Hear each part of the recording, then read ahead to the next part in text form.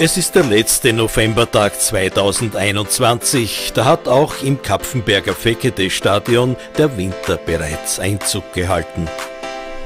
Die KSV 1919 Fußballer haben die Herbstmeisterschaft in der Tabelle in der Admiral zweiten Liga mit einer blutjungen Mannschaft auf Platz 10 abgeschlossen. Memmer TV Sportreporter Peter Harrer hat mit KSV 1919 Präsidenten Erwin Fuchs, Cheftrainer Wladimir Petrovic und Co-Trainer David Sentscher folgendes Gespräch geführt. Der Herr Präsident Erwin Fuchs, die KSV hat die Meisterschaft im Herbst abgeschlossen. Man liegt da auf Platz 10 zufrieden. Ja, den Umständen entsprechend bin ich zufrieden. Wir haben ja immer wieder einen großen Umbruch. Also uns verlassen ja immer wieder Spieler, die dann nach oben gehen. Das ist ja sehr gut für uns. Das erzeugt für eine gute Ausbildung. Ja, die Punkteausbeutung, ich sage immer, wenn du pro Spiel einen Punkt machst, bist du normalerweise nicht in Abstiegsgefahr. Jetzt haben wir halt einen mehr.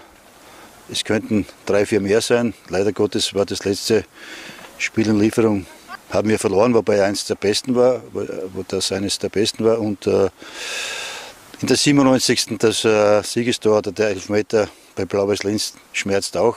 Hätten wir drei Punkte gerne mitgenommen. Aber in Summe muss man zufrieden sein. Und ja, der Nachwuchs äh, schiebt immer brav nach oben. Ja, und man liegt fünf Punkte vor dem Drittvorletzten. Man kann ja für drei Absteiger im schlechteren Fall ausgehen. Ich glaube, da wird man im Frühjahr schon noch Punkte brauchen und auch machen. Ja, Punkte brauchen wir auf jeden Fall, weil die Konkurrenz schläft nicht. Man sieht ja, die Juniors schlagen jetzt uh, zum Beispiel Innsbruck auswärts 4 zu 1. Also die kommen immer näher. Und man muss punkten, punkten, punkten. Und ich denke mir, die 30 Punkte wird man schon erreichen müssen. Wenn wir so das Stadion anschauen, das Umfeld das Stadion ist ja schön.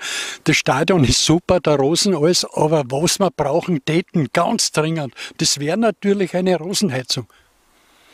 Naja, wir haben ja das Problem, dass wir leider Gottes diese Bonuszahlung nicht abholen können, die sich zum Beispiel ein GRK abholt. Das sind immerhin 250.000 Euro, weil unser Stadion halt nicht mehr Bundesliga-tauglich ist für die höchste Liga ja, vielleicht passieren noch Wunder oder Weihnachtswunder und irgendwann einmal wird auch hier wieder äh, etwas nachgelegt.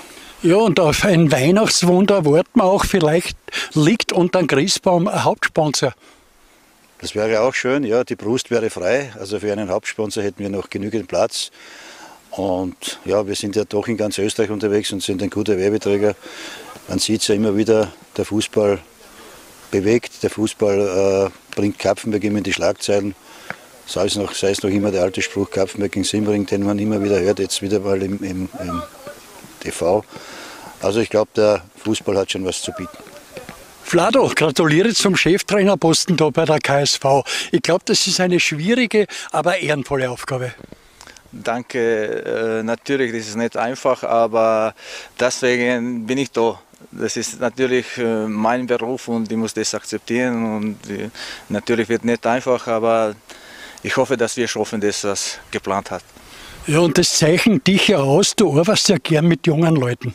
Ja, praktisch die ganze Karriere bin ich mit jungen Leuten. Ich war ein paar Jahre Akademie als Trainer tätig und natürlich als Co-Trainer mit Kurt gearbeitet und mit Ibrakovic auch. Jetzt bin ich selber Cheftrainer, nicht selber, natürlich mit David zusammen und ich kenne gut Mannschaft. Ich habe praktisch mit allen Spielern gearbeitet vorher als, als U17-Trainer und Amateure-Trainer und ich kenne gut diese Partie und natürlich ich hoffe, dass dieses Jahr wird kein großes Problem für uns Liga behalten. Ja, Liga halten, das ist natürlich wichtig, die Zugehörigkeit und natürlich wichtig, wieder ein paar junge Leute zu entwickeln.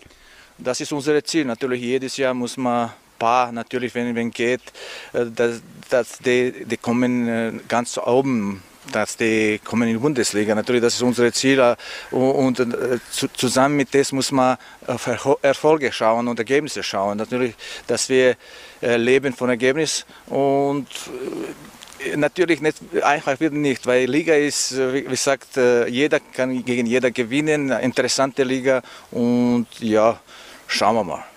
Was wünschst du dir fürs Frühjahr? Wie soll die Mannschaft dann ausschauen? Ich glaube, ihr werdet ja nicht viel ändern. Äh, sicher nicht. Vielleicht eine, zwei Positionen mehr nicht, glaube ich. Äh, für uns wäre wichtig, dass äh, Zetina bleibt. Ich bin nicht noch sicher. Und natürlich auf die Positionen muss man schauen, dass wenn Zetina weg, dass eine andere kommt. Ich hoffe, dass wir in der Mitte irgendwo bleiben und dann ohne viel Stress zum Schluss irgendwo das zusammenbringen. Der David Senscher ist der Assistent von Vlado Petrovic und du bist jetzt Co-Trainer beim Petrovic und bei der KSV. Ich glaube, das ist eine ehrenvolle Aufgabe und eine gute Aufgabe.